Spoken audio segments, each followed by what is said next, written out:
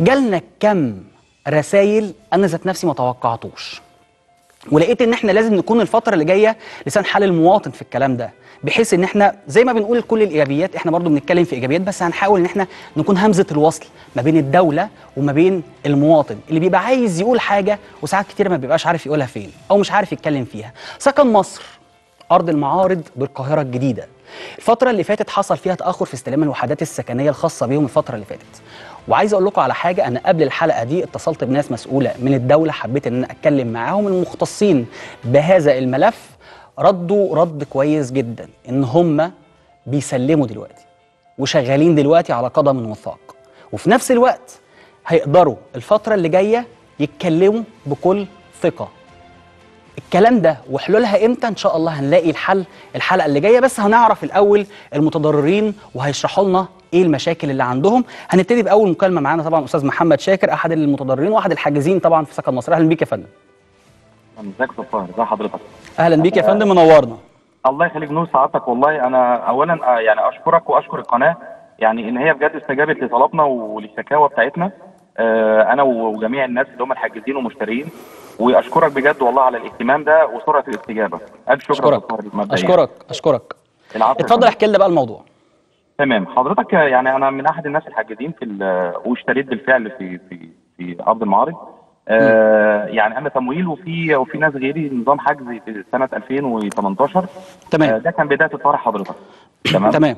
آه وفي كان في طرح ثاني ب 2022 بس لو اتكلمنا في بداية الطرح آه والله يا أستاذ مبدئيا كده الناس يعني آه طبعا ثقتهم في في المشاريع الدولة وفي الجودة آه آه اللي فخامة السيد الرئيس آه جمهوريه بي يعني دايما بيوعدنا بيها آه فإحنا الحمد لله أسوة بالمشاريع الثانية والجودة بتاعتها فالناس خلاص دخلت وحجزت على هذا الأساس. كويس. مبدئيا آه، يا أستاذ طاهر إحنا يعني ناس كتير جدا وناس حكوا لي بداية الكراسه الواجهة بتاعتها ال ال العمارة بتاع سكن مصر فيها أسانسير وقصادها آه، حجم تشجير وحجم آه، خضرة جميلة جدا في بدايه. الواجهه بس بتاعت كراسه الشروط كويس. ده بالنسبة ل 2018 2022 ولكن كويس. الناس لما حجزت والقرعة تمت آه، اكتشفوا وأنا من ضمن الناس اللي اكتشفت إن الموقع آه، اولا العمارات قريبة جدا من بعض تمام وطبعا مخالف, تماما لل- للوجه اللي موجود ده رقم واحد وأهم حاجة بقى عندنا يعني إحنا حضرتك هنتكلم في حاجة مهمة جدا إن المصاعد مش موجودة يعني إن المصاعد مش موجودة لحد دلوقتي لغاية دلوقتي العمارات. يا فندم اتأسست من غير أي مصاعد خالص ما فيهاش أي مكان للمصاعد.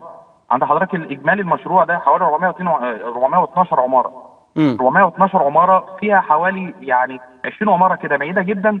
دول آه، اسمهم متميز. دول ما نعرفش عنهم حاجة يعني. دول ما كانوش في الحجز كويس. دول فيهم أسانسيرات. لكن حضرتك حوالي 390 عمارة أو أكتر كلهم ما فيهمش أي مصاعد.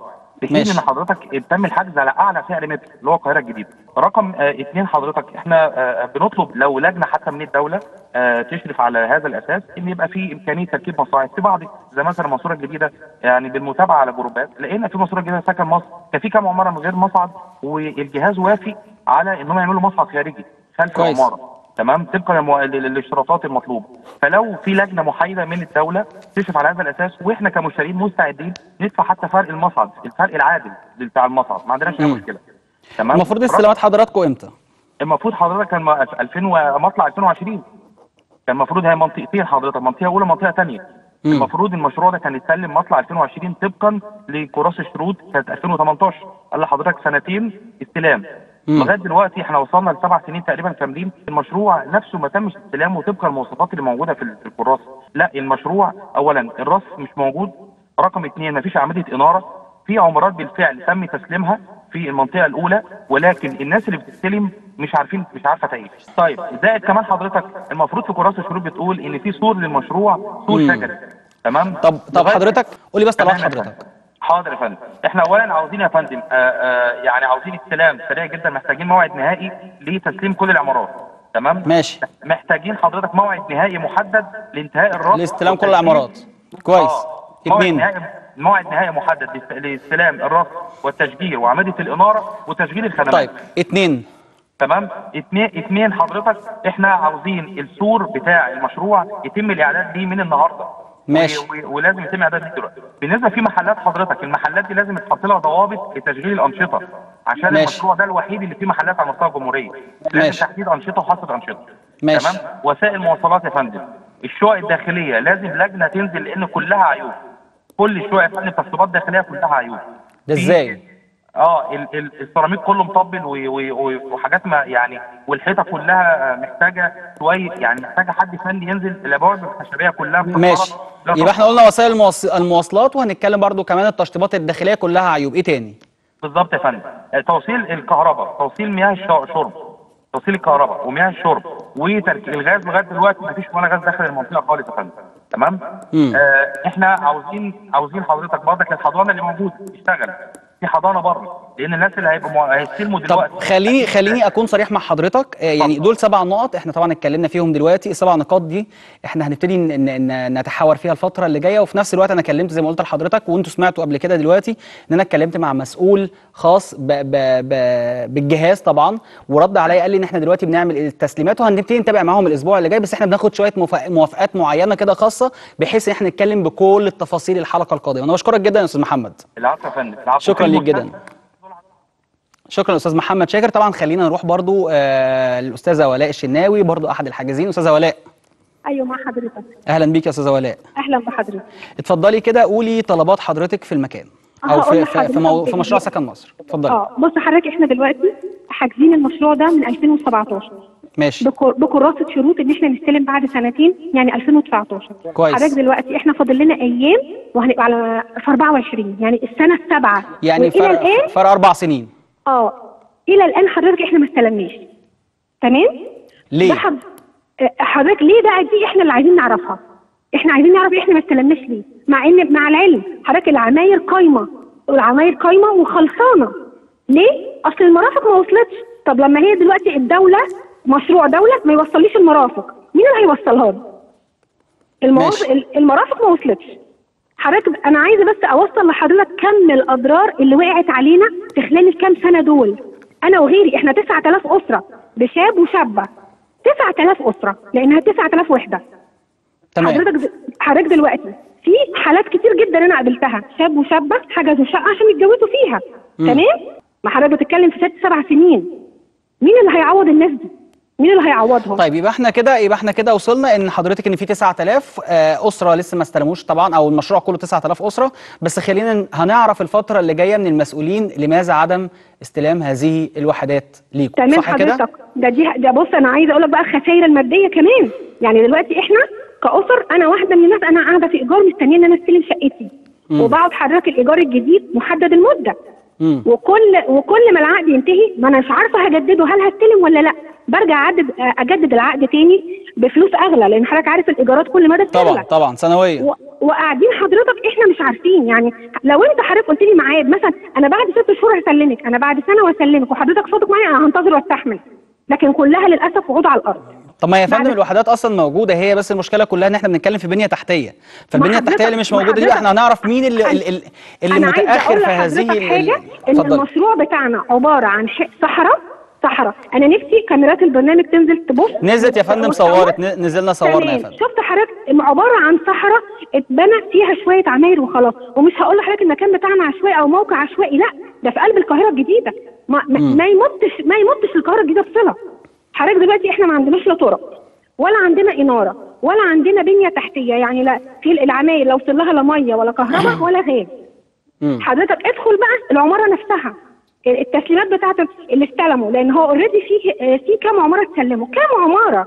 يعني حضرتك إيه ما, ما يتعدوش متهيألي ما يجيبوش ل 10% يمكن النسبة أقل كمان. حضرتك اللي استلم استلم بقى العيوب اللي هقولها لحضرتك.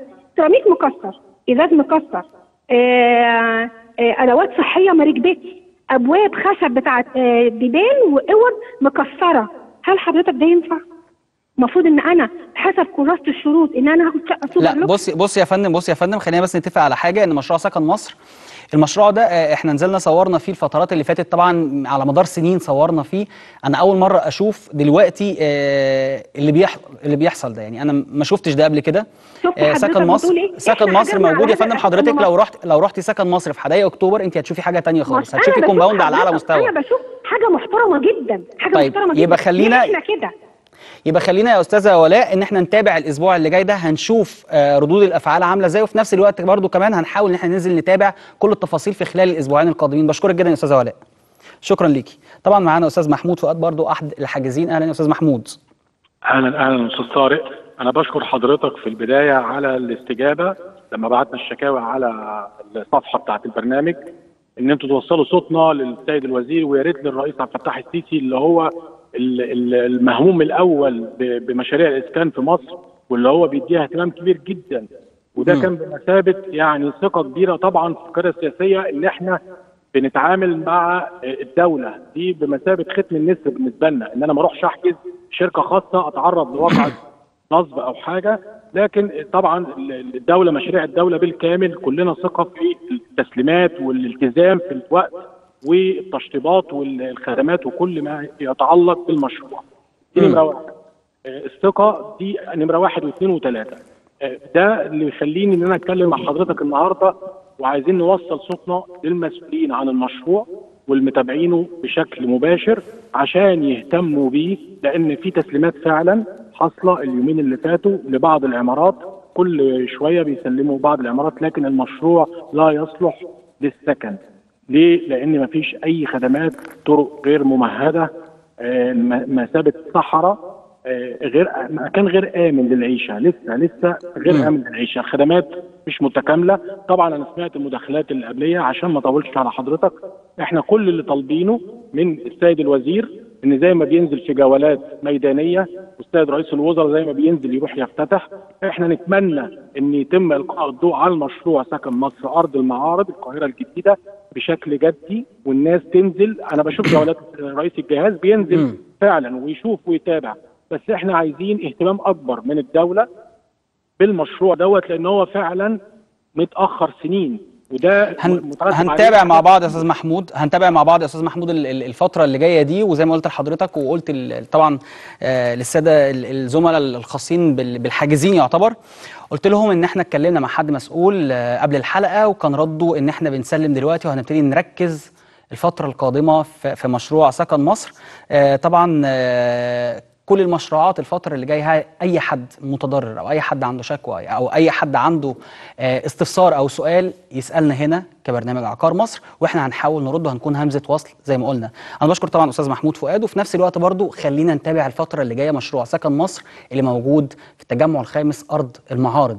مشروع كويس جدا مشروع قائم يعتبر فيه عمارات كتيرة جدا بس عندنا شوية تقاعس بسيط هنحاول إن إحنا نعدله ونشوفه. زي ما بنشوف كل الأجهزة التانية طبعا بتتكلم عن سكن مصر وجنة مصر ودار مصر بنشوف كومباوندات على أعلى مستوى وحاجة فيها أماكن كويسة جدا وفيها إنارة وفيها بنية تحتية وفيها وفيها وفيها وفيها. بنشوف كلام جميل جدا ومتابعينه بلحظة بلحظة يعتبر. إحنا بقالنا سنين بنتابع طبعا مشاريع الخاصة بالدولة. بس هنحاول إن إحنا زي ما بنقول كل حاجة إيجابية ومميزة. لو في حد عنده سؤال عنده استفسار عنده مطالبة بحاجة للدولة إحنا هنا موجودين هنحاول نكون همزة وصل. قبل ما أطلع